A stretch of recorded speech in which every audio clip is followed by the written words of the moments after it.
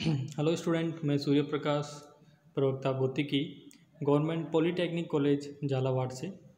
Student, आज इस video में हम फ़र्स्ट ईयर, सेकंड सेम, विषय code two zero zero two applied physics के बारे में, जो उसका फ़र्स्ट यूनिट है, उसका फ़र्स्ट टॉपिक है, वेव मोशन, यानी कि तरंग गति के बारे में जानकारी प्राप्त करेंगे।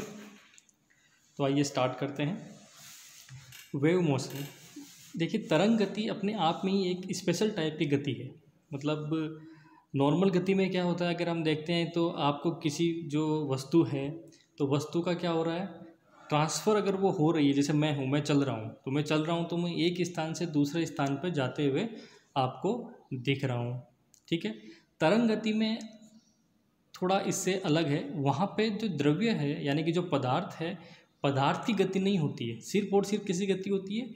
ऊर्जा की गति होती है, ठीक है? उस गति करने के तरीके कुछ अलग हो सकते हैं, ठीक है? उसके अकॉर्डिंग हम देखेंगे कि वो कौन कौन से तरीके हैं तो उसको क्या क्या कहेंगे, ठीक है?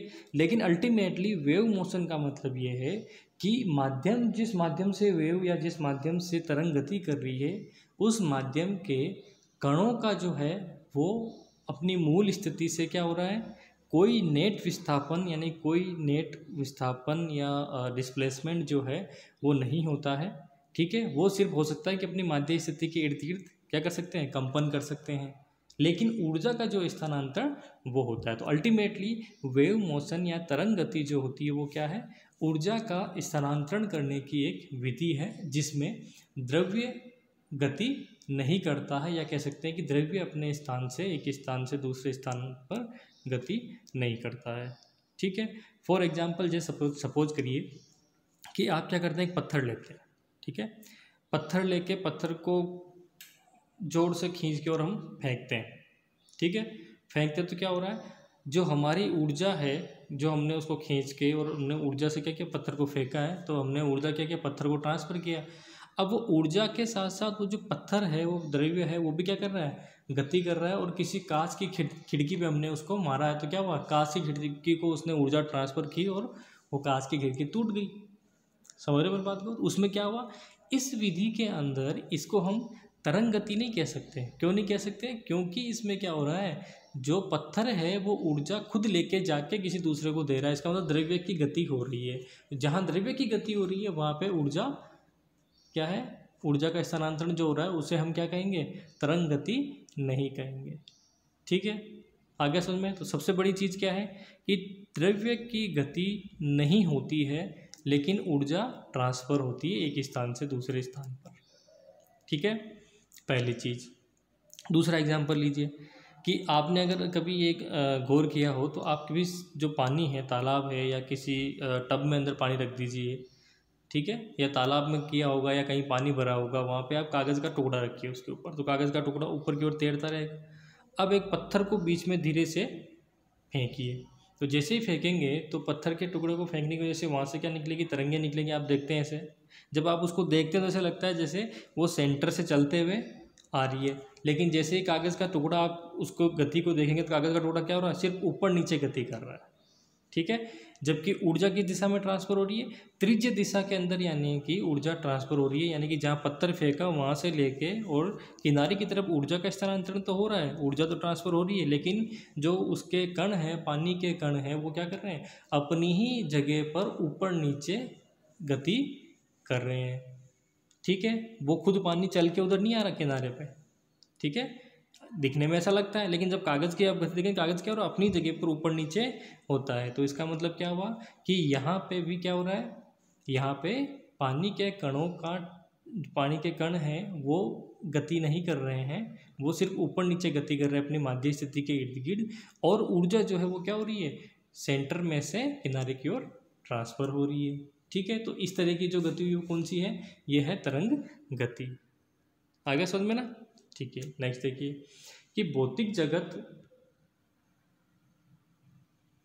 भौतिक जगत में कई जगह हमें ऊर्जा को एक स्थान से दूसरे स्थान पर पहुँचाने की आवश्यकता होती है, ठीक है? तरंग गति एक स्थान से दूसरे स्थान पर तक द्रव्य के वास्तविक भौतिक स्थानांतरण के बिना ऊर्जा संचरण की एक महत्वपूर्ण विधि है। इम्पोर्टेंट क्या चीज़ है यहाँ पे? द्रव्य के वास्तविक भौतिक स्थानांतरण के बिना ऊर्जा संचरण की एक महत्वपूर्ण विधि है। यह सबसे इम्पोर्टेंट है। क्या है? पदार्थ जो है वो वास्तविक रूप से स्थानांतरित नहीं हो रहा है। ठीक है? सिर्फ़ और सिर्फ़ क्या हो रहा है? ऊर्जा का संचरण होता है और वास्त, जो कण है या जो द्रव्य है, जो पिंड है, वो क्या करते हैं माध्यम के? अपनी माध्य स्थिति के इर्द गिर्द गति करते हैं। लेकिन उस मध्य स्थिति को कभी छोड़ते नहीं हैं। ठीक है? कंपन कर सकते हैं। ठीक है? तो भौतिकी की लगभग सभी शाखाओं में तरंग गति का संबंध मतलब किसी भी शाखा में आप चले जाइए, लगभग भौतिकी में तरंग गति सबसे इम्पोर्टेंट रहती रहती है, ठीक है? अब ये जो तरंग होती है, वो मुख्यतः तीन प्रकार की होती है, ठीक है? अब वो कौन कौन सी होती है? आइए उस पर ध्यान देते हैं। पहली होती है इलेक्ट्रोमैग्नेटिक वेव यानी कि विद्युत चुंबकीय तरंगे। अब विद्युत चुंबकीय तरंगे कौन सी तरंगे होती है? विद्युत चुंबकीय तरंगे वे तरंगे होती हैं जिनको संचरण करने के लिए माध्यम की आवश्यकताएँ नहीं होती है। यानी कि जो निर्वात में भी गति कर सकती हैं, वो क्या कहलाती हैं? विद्युत चुंबकीय तरंगे। कौन सी हैं? बहुत सिंपल सा एग्जांपल है विद्युत चुंबकीय तरंगों का। सूरज से आने वाली जितनी भी विकिरण है, वो सब क्या है? विद्युत चुंबकीय तरंगे हैं। ठीक है?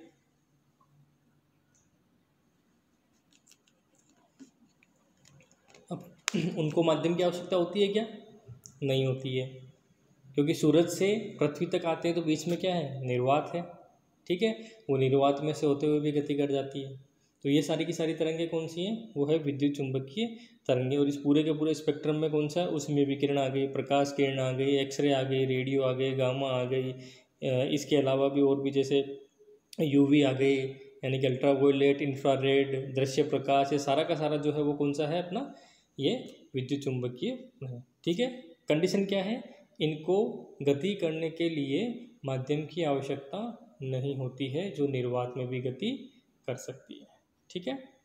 दूसरी है, द्रव्य तरंगे यानी कि मेटर वेव अब ये जो वेव होती हैं, ये तरंगे होती है, ये होती हैं अपन सूक्ष्म कणों में। अगर हम सूक्ष्म यानी कि माइक्रोस्कोपिक वर्ड में चले जाएँ, ठीक है? सूक्ष्म जो अपना आकाश है, उसमें चले जाएँ, जैसे जहाँ इलेक्ट्रॉन प्रोटॉन न्यूट्रॉन मैसोन ऐसे सब छोटे छोटे छोटे छोटे पार्टिकल्स होते हैं, उसमें अगर हम जाते हैं तो वहाँ पे ये तरंगे जो हैं, वो उत्पन्न होती हैं, ठीक है? यानी कि हर एक पदार्थ जिसमें द्रव्यमान है, उससे रिलेटेड एक तरंग होती ही है, ठीक है?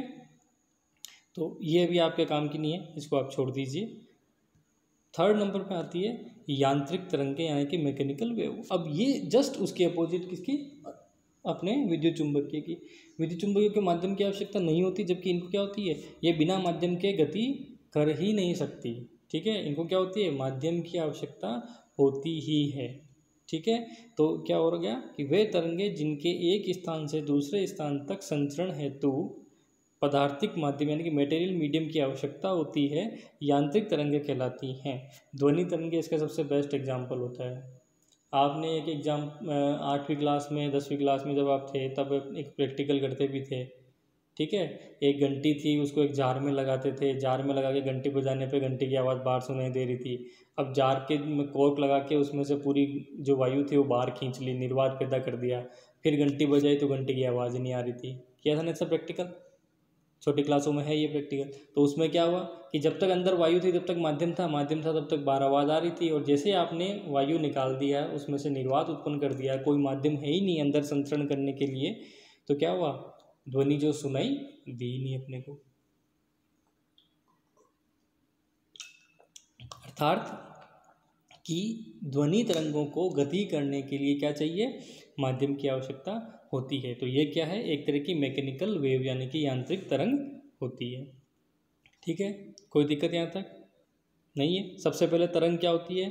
तरंग वो चीज़ है जिसमें पदार्थ, जिसमें माध्यम का जो पदार्थ है, खुद गति नहीं करता, लेकिन क्या हो रहा है? ऊर्जा का स्थानांतरण एक जगह से दूसरी जगह पे हो रहा है। कितने प्रकार की हो गई? तीन प्रकार की। विद्युत चुंबकीय यांत्रिकी और द्रव्य। द्रव्य को आप अभी स्किप कर दीजिए, आपके काम की नहीं है। विद्युत चुंबकीय जो सूरज से आती है, जितने भी गामा एक्स वेक्स सब जो जिनको माध्यम की आवश्यकता नहीं होती, निर्वात में गति कर सकती है। यांत्रिक कौन सी है? यांत्रिक वे तरंगें होती है, जिनको माध्यम की आवश्यकता होती है संचरण करने के लिए।